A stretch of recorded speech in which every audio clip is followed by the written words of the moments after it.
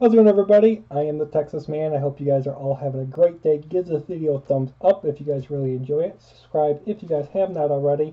And also do me the biggest favor of all. Hit that bell notification button so you guys do not miss out on a single video coming out in the future here on the Texas Man channel. Oh boy. As you guys can probably tell, this is going to be a butcher video because I'm wearing my helmet. I did not like watching this movie, and the only reason I reviewed it was for a friend of mine. So, we're going to talk about The Crow from 1994, and as always, we're going to talk about positives, negatives, and then I'll give you guys my final review score. Let's get into it.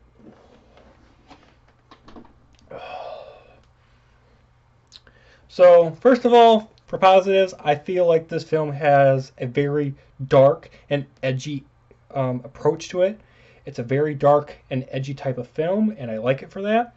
Brandon Lee's performance is just phenomenal. He's a talented actor, and uh, I'm sad that he's passed away. He was very good in this film, even fantastic to some people's standards, including myself.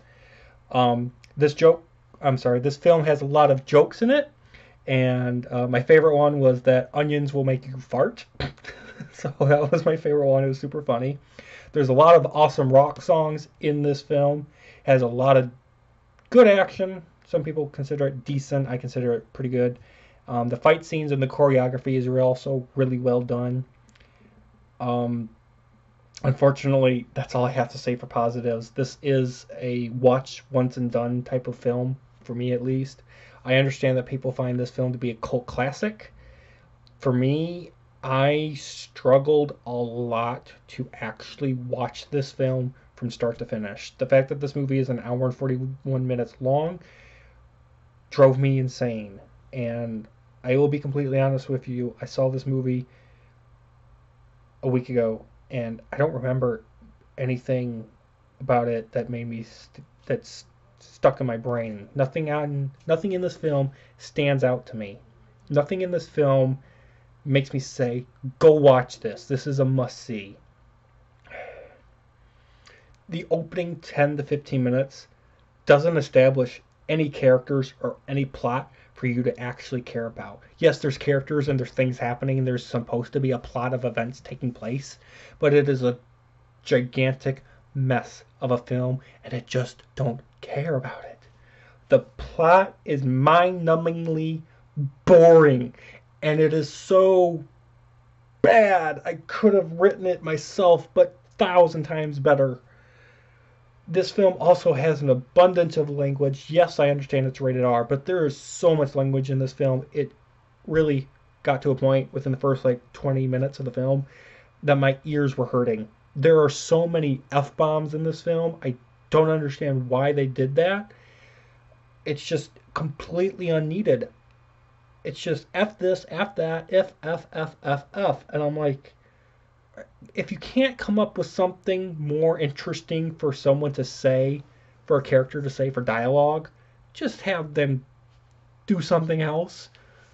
Or rewrite your script completely or trash the film, because this movie, honestly, almost is trash. Uh, most of the characters are extremely weak. Their, their character arcs are bad and they're very two dimensional. Um, I also have to say that this film has nudity. Um, it doesn't show you anything, but it's all in your brain. Like it'll show you things, um, and your mind will fill in the gaps. So, yeah, it's there's some nudity in this, so be aware of that. Um, some questions that never get answered in this film is like, how does Eric come back to life? How and why does he have normal clothes on when he comes out of the grave? Like he's got pants and shirts on. And I'm like, I'm pretty sure people don't get buried with normal average day clothes. I'm pretty sure they get buried in a suit. Uh, this film also doesn't answer how Eric gets his powers by coming back to life. Uh, this film also doesn't show you, honestly, much good backstory. Uh, this film uses an abundance of confusing flashback scenes to give character backstory. And honestly, because of so much flashing going on for the flashback scenes, it honestly was starting to give me a migraine. and I couldn't keep my eyes focused on the screen. Also, the characters' motivations and backstory for why they're doing what they're doing and hopefully trying to get to a certain point is not explained well at all. Um, I, I honestly was bored after the first 15, 20 minutes of this film, guys. Uh, I know I'm not talking much about the plot and spoilers and all that type of stuff because there's nothing in this film plot wise that makes any coherent sense. There's not a beginning, middle, and an end. I honestly also don't understand why a trilogy of these films were made, especially since the main actor, Brandon Lee, passed away shortly after this film was done filming. They had to replace them and bring in somebody else for The Crow 2 and 3, for lack of better terms. Um, I don't even know what they're called because I don't care. But I'm just like.